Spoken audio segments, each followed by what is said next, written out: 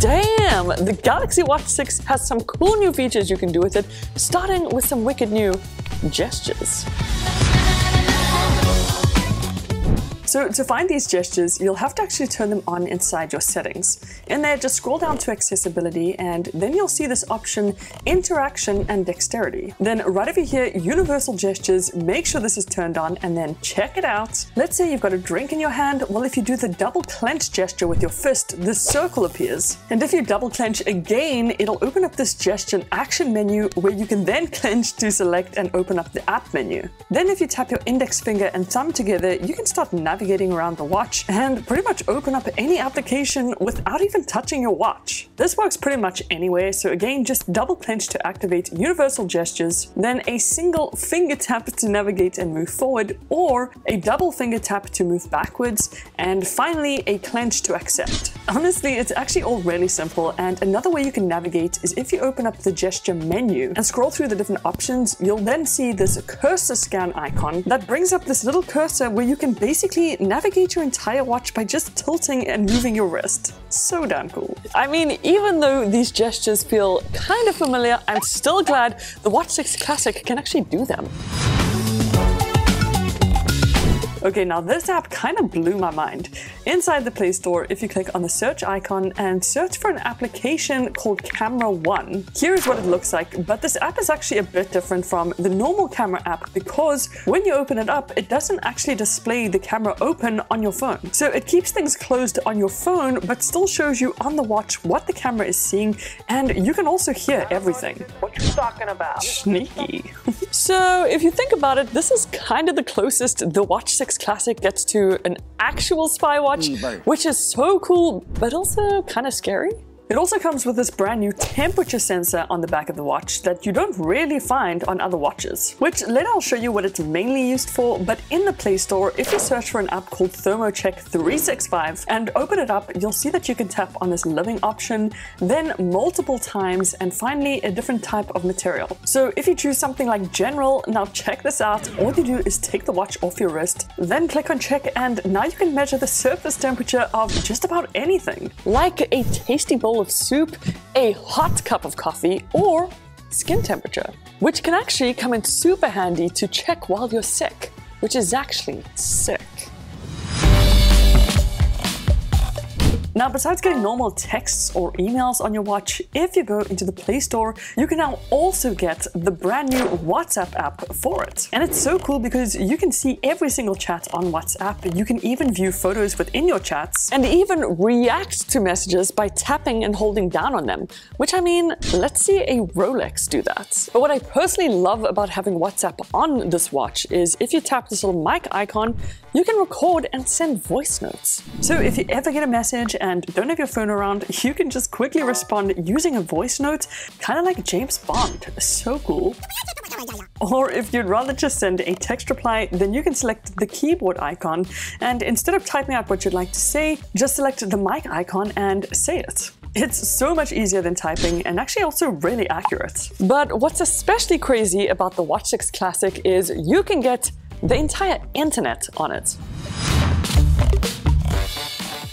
So to get the internet on your watch, all you gotta do is head to the Play Store, tap the search icon and type in internet. It's literally that simple and it's the first option that appears called Samsung Internet Browser. And I know browsing the internet on your watch might seem a little bit silly, but if you open it up, you'll find all these quick bookmarks like YouTube or Google, for example. So if you really wanted to, you could browse and watch all your favorite YouTube videos on this ginormous screen, because that's totally what watches were made for. Or you could could use it to browse through Amazon, look at a bunch of Google images, or maybe just search something like how to repair a time machine.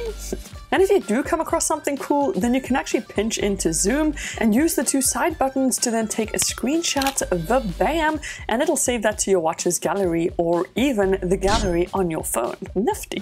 If you also ever wanted quick access to the internet, you could scroll to the end of your tiles and add a new tile, then scroll down until you see internet. Reposition it to wherever you'd like within your tiles lineup, and once you tap on edit, then a plus icon, you can assign different bookmarks. So depending on what you want, want, just add those, and then the next time it's quick and easy to just swipe through your tiles and open the internet.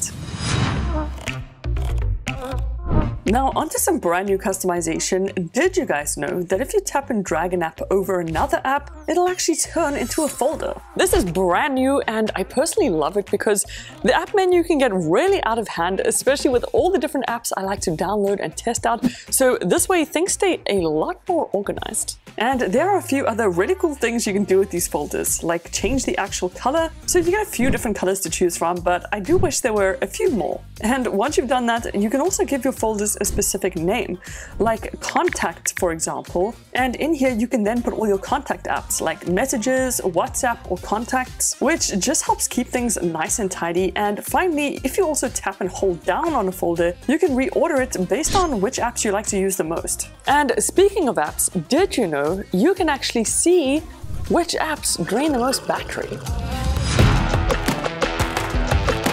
So to see which apps are using up the most amount of your watch's battery, head into settings and scroll down to battery and device care. In here, it's pretty hidden, but if you tap on battery and tap on left, you'll see exactly what apps are using up the most amount of battery. Honestly though, you don't really need to worry about the battery life on this bad boy because I easily got around two to three days of use from it. But at least now, if you do see the battery draining really quickly, you can see exactly which app is the cause. Then a little trick that not many people know about is that instead of using your charging pad to charge your watch, head into the quick settings panel on your Samsung phone and toggle on wireless power share. Because now, whenever you do charge your phone and have that wireless power share turned on, Put your phone down and place your Watch 6 on the back of it and voila! Both your watch and your phone will charge at the same time, which will actually save you some time. Okay, so the Watch 6 Classic can measure a lot of health stats to make sure that you're in tip-top shape.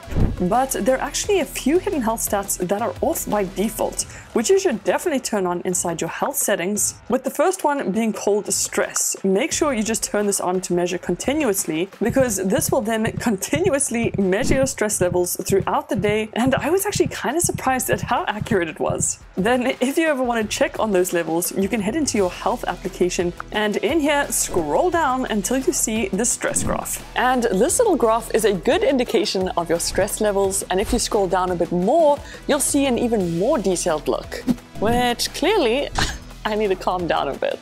To find the second measurement stats, back inside the health settings, if you scroll down to sleep, in here make sure to toggle on blood oxygen during sleep and skin temperature during sleep. And again, if you ever want to check out those stats within the health application on your phone, you can see a way more detailed graph of your blood oxygen and also skin temperature. And why it's good to keep these measurements on is if you're struggling with sleeping, your blood oxygen or skin temperature might actually be able to help you figure out what's going on.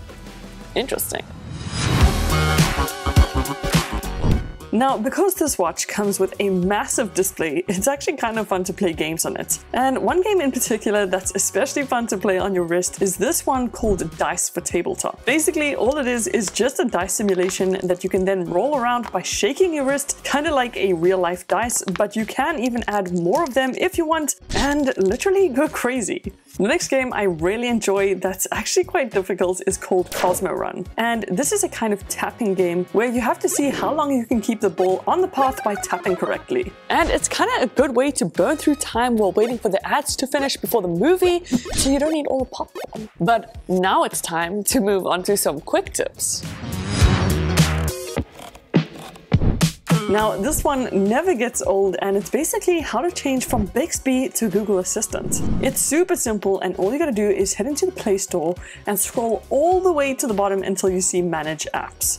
In here, just make sure you tap on Assistant and Updates. Once that is done, then you need to head into Settings and scroll down to Advanced Features. Then in here, you'll see this option called Customize Buttons and the press and hold changes from Bixby to Assistant and you are good to go. For the next quick tip, back inside Advanced Features, you'll find another brand new setting called Disconnection Alert. Just make sure to toggle on Full Screen Alert with sound and vibration, because now whenever you walk away and leave your phone behind, your watch will actually give you this notification with sound and vibration to let you know your phone was disconnected from it, and even ask if you'd like to track it using Find My Phone.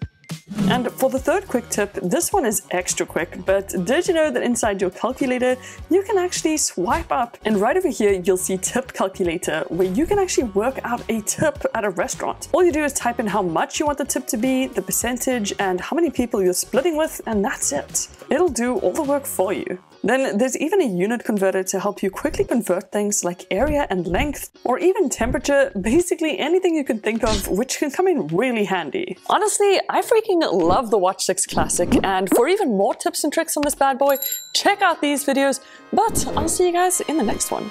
Toodles!